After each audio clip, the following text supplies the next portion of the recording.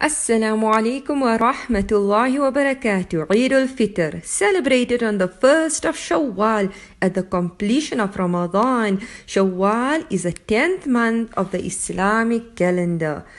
A happy Eid, Eidun Sa'idun, a very joyous day, a day of happiness, a celebration for those who fasted and obeyed Allah. Eid is for those who spent it in caring and sharing Eid is for those who spent it in complete worship and devotion. Nabi wasallam said, when the night of Eid, the night called Laylatul Jaiza, the night of prize giving comes along, then on the morning of Eid, Allah sends the malaika, the angels, to all the lands of the earth where they take their positions at access points at the roads calling out with a voice that is heard by everyone except men or jinn.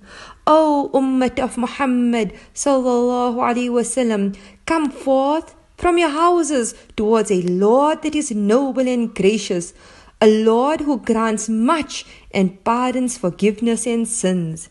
When we go for Eid Salah, Allah says to the Malaika, What indeed is a reward for that employee, for that worker who has done his work well.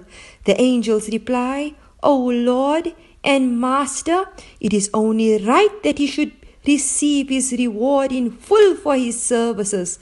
Allah then says, I call you to witness, O my angels, that for their having fasted during the month of Ramadan, and for their having stood in prayer at night, I have granted them as reward my pleasure and granted them forgiveness.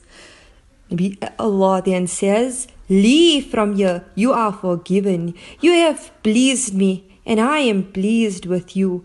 On hearing this, the angels become greatly pleased and happy. Boys and girls, the night of Eid is also a night of worship. Let's not spend the night displeasing our Creator Allah. And remember, spend the night in as much ibadat and obedience because whosoever spends the night of Eid in worship and obedience, his heart will not die when hearts will die. And boys and girls, we should consider that there are many people and families out there that do not have the extra to celebrate. For them, this day is just an, another ordinary day. So, boys and girls, after all, it is a day of caring, sharing, and bringing joy and happiness to those who are less fortunate as well.